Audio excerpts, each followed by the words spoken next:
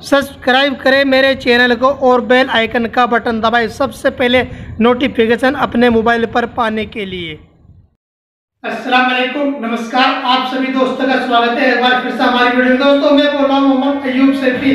आज मैं आपसे बात करता हूँ वाल शोकेस के बारे में, जो कि हमने वाल शोकेस बनाया है, पाँच बाई चार का बनाया है और उसको हमने प्राइम बॉक्स में तैयार किया है। इसी प्रकार जो हमने इसकी गहराई रखी है, वो इंच की गहराई रखी है। और हमने जिसमें अंदाजे तक सनमाइका लगाई है, ये हाईग्रोसी व्हाइट कलर की सनमाइका है। और हमने जो इस पर यहाँ पर बॉर्डर दिया है दो इंच का बॉर्डर दिया है। और मैं अगर आपसे बात करूँ टेपर की हमने इसमें पाँच इंच का टेपर दिया है। और अगर बात करी जाए स्लेब की, इसमें हमने जो स्लेब लगाई है, वो 18 इंची और 5 इंच के स्लेब है। और हमने उसको एफ़ ब्राकेट पर रोका है, जो कि एफ़ ब्राकेट उस प्रकार है जिसकी लंबाई पाँच चार इंच है और वो फोल्डिंग है और उसको आप आप पाँच एम का शीशा, पाँच एम से और बारह एम तक शीशा लगा सकते हैं। उसको हमने स्टील कलर पेज पर फिटिंग किया है और आपको शीशा दिखाता हूँ मैंने कौन सा शीशा लगाया कौन सा ब्रैकेट लगाया है।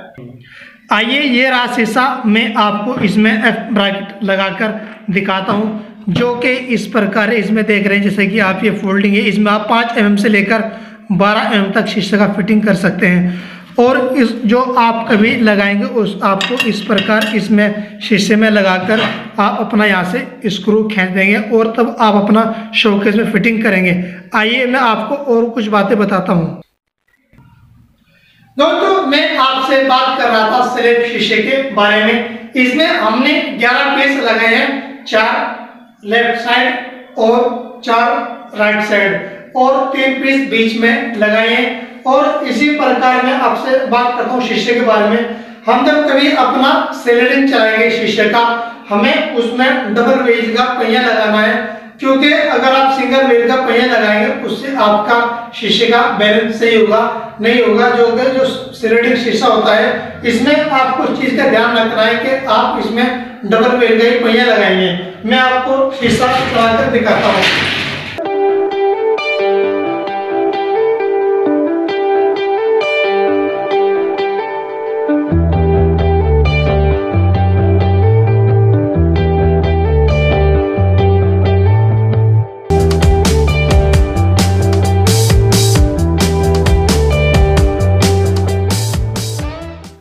और मैं आपसे बात करता हूँ चैनल के बारे में। हमने जिसमें चैनल लगाई है वो करने वाली चैनल लगाई है और चैनल दो प्रकार की आती है, सात सूत की चैनल आती है और आठ सूत की चैनल आती है। हमने जो इसमें चैनल लगाई है वो आठ सूत की लगाई है उससे आपका शीशा और पहिया कभी फंसेगा नहीं अगर आप चौड़ी चैनल लगाते हैं। और अगर आप सात सूत की चैनल लगाते हैं, उसमें पहिए फंसने का चांस रहता है। इसमें आपको चौड़ी से चौड़ी चैनल लगानी है। मैं आपसे बात करता हूँ सनमाइका के बारे में। हमने इसमें ब्लैक कलर की टेक्चर में सनमाइका लगाई है, जो कि रेशे वाली सनमाइका है। और मैं आपसे बात करता हूँ शीशे की ऊंचाई के बारे में। इसमें हमने जो इसकी ऊंचाई रखी है, लगभग चौदह इंच की ऊंचाई रखी है और इसमें हमने दस इंच की ऊंचाई रखी है। इसमें आप अपने बच्चों के खेल खिलौने सिम वगैरह जो स्कूल से बच्चों को सीरीजन आने पर मिलती है, आप उसमें इसी प्रकार लगाकर अपने घर की शो बना सकते हैं और भी इसमें आप अपना और भी कोई इत्यादि सामान रख सकते हैं। तो बात करते हैं हम अपने शोकेस के प्राइस की कॉस्ट की। इसमें जो आपका खर्चा है, इसमें लगभग नौ हज़ार रुपए का खर्च आया है। यानी कि आप मान लीजिए लगभग साढ़े तीन सौ रुपए स्क्वायर फुट के हिसाब से आपका एस्टिमेट पड़ेगा।